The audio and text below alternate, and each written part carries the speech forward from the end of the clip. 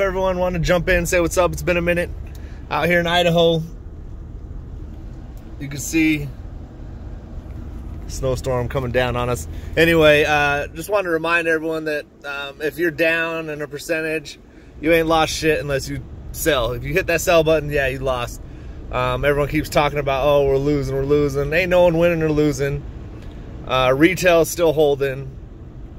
Oh hold on, let me rewind this. This is not financial advice.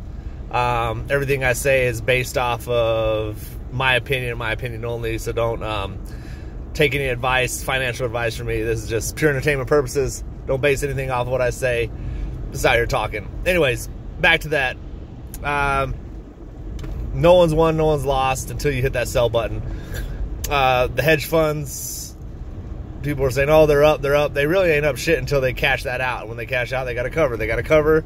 They got to pay us. So I mean, and you can't. I don't know, man. You can come in here and have shills post in my comments about how fundamentally blah blah blah. We've pushed our debt back to 2027, and we can push it back further. Uh, you know, in a few steps. So all I'm saying is the movie theater business is for AMC going well fundamentally, and they're involved with Hycroft. They're involved, um, the popcorn, you know, all that stuff coming out. So fundamentally, the business ain't going nowhere. Movies are coming back. People still want to go to a movie. You know, it's just, it is what it is. Um, so I have no worries in this play. Just want to remind you that um, you ain't lost nothing. Your percentage is down so, and for me personally, like my percentage is way down. Why the hell would I sell right now? Hold that shit. You know what I mean? Uh, from zero to hero, like they say. But yeah, I just want to remind everyone you are not down unless you hit that sell button. You haven't lost shit unless you hit that sell button.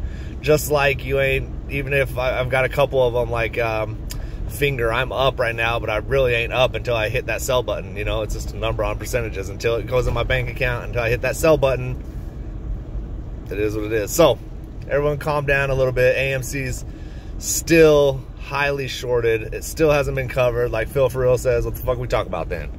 That's real shit. I mean, we're still holding. Um,